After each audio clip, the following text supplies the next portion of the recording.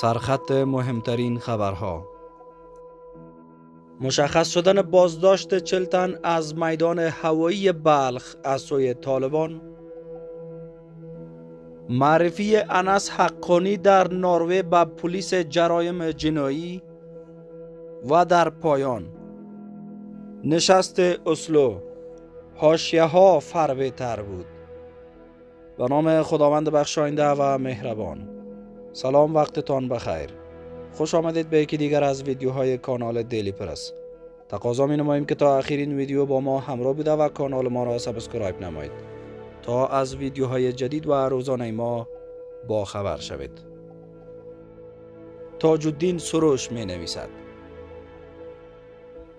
طالبان چه درامه را بالای شهروندان افغانستان براه انداختند؟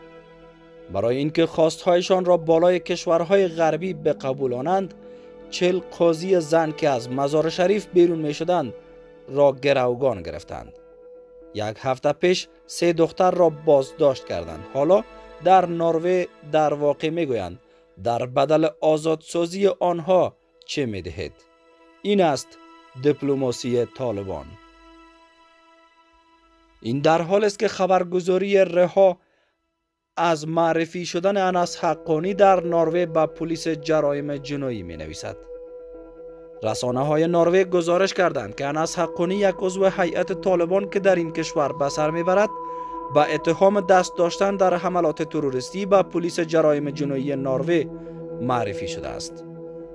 نروژ today گزارش داده که انس حقانی یک تن از اعضای هیئت طالبان که به دعوت وزارت خارجه این کشور در اسلو به سر می‌برد به اتهام دست داشتن در حملات تروریستی به پلیس جرایم جنایی معرفی شده است مارید فرمو دادستان عمومی اسلو به تلویزیون نروژ گفت می توانم تایید کنم که یک گزارش در این خصوص دریافت کردیم و کریپوس این گزارش را به صورت عادی راجستر کرده است و افزود دوسیه در کریپوس مورد بررسی قرار می گیرد و ما نمی توانیم تا آن زمان در این خصوص حرفی بزنیم. یوناس گار استور نخست وزیر نروژ در این خصوص بر رادیو سویدن گفت اطلاع نداشته که انس حقانی عضو هیئت دعوت شده طالبان به این کشور می باشد. لازم به ذکر است که انس حقانی برادر کوچک سراج الدین حقانی می باشد. سراج الدین حقانی سرپرست وزارت داخله طالبان و رئیس شبکه حقانی می باشد گرچه خود حقانی در مصاحبه تازه حضورش در شبکه به نام حقانی را رد کرده است. شبکه حقانی متهم بر اندازی چندین رشته حملات تروریستی در افغانستان است. در سال 2008 این شبکه حمله را بر هتل سیرینای شهر کابل را اندازی کرد که در آن حادثه یک خبرنگار طبعه نروژ کشته شد و نخست وزیر فعلی نروژ نیز مجبور شده بود برای در امان ماندن از تیراندازی های حمله کنندگان روی زمین دراز بکشد. در همین حال روزنامه هشت صبح در یک خبرنامه می نویسد نشست اسلو حاشیه ها فربه تر بود. نخستین روز نشست سه روزه اسلو روز یک شنبه سوم در, در هتل سوریا موریا در حومه شهر اسلو پایتخت نروژ دایر شد در این نشست نمایندگان کشورهای آمریکا بریتانیا، فرانسه، آلمان، ایتالیا و اتحادیه اروپا در کنار نمایندگان جامعه مدنی و طالبان شرکت کردند. از افغانستان نیز سرپرست وزارت خارجه حکومت سرپرست طالبان زنان و فعالان جامعه مدنی دعوت شدند. این نشست که روی وضعیت حقوق بشری و بحران بشری در افغانستان متمرکز است با هواشی نیز همراه بوده است. خدا خموش نماینده زنان معترض در این نشست پیش از سخنرانی خود از امیرخان متقی خواسته است که به کابل زنگ بزند و زنان معترض گرفتار شده را آزاد کنند. طبق اطلاع منابع متقی در حضور وزیر خارجه نروژ و نمایندگان کشورهای شرکت کننده به کابل زنگ زده است. همچنان برخی از دعوت شدگان از شرکت در این نشست امتناع کردند و شماری نیز در بیرون از محل برگزاری نشست تجمع اعتراضی برپا کردند و از کشورهای اشتراک کننده خواستند که طالبان را به رسمیت نشناسند این معترضان طالبان را به بدرفتاری با زنان و سایر شهروندان متهم کردند و از کشورهای جهان خواستند که نباید از جرایم و جنایت هایی که در افغانستان صورت گرفته است در نشست اسلو چشم پوشی کنند. با این حال در روز اول نشست اسلو طالبان برخی تعهدات را به ویژه در قبال زنان دادند و تاکید کردند که اجازه کار به زنان و بازگشایی مکاتب دخترانه را می‌دهند. در پایان روز یک اعلامیه مشترک نیز صادر شد و اشتراک کنندگان بر ادامه همکاری اقتصادی، امنیتی و سیاسی تاکید کردند. در نشست اسلو به ابتکار ناروی برگزار شده و تا پنجم ماه دلو ادامه پیدا می کند. در این نشست طالبان با نمایندگان کشورهای دعوت شده نمایندگان جامعه مدنی و فعالان حقوق زن که از افغانستان در این نشست دعوت شدند گفتگو کردند.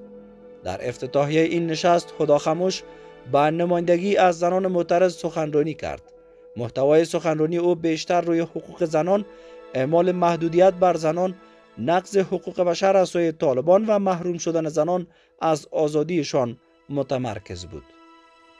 خموش طالبان را به اعمال آپارتایت جنسیتی متهم کرد و گفت که با تسلط حکومت سرپرست طالبان بر کابل زنان روزانه به طور نظاممند حذف انکار توهین و تحقیر می شوند و گفته او با روی کار آمدن حکومت سرپرست طالبان زنان به حاشیه رانده شده و از اساسی ترین حقوقشان که همانا آموزش تحصیل کار و آزادی است محروم شدند.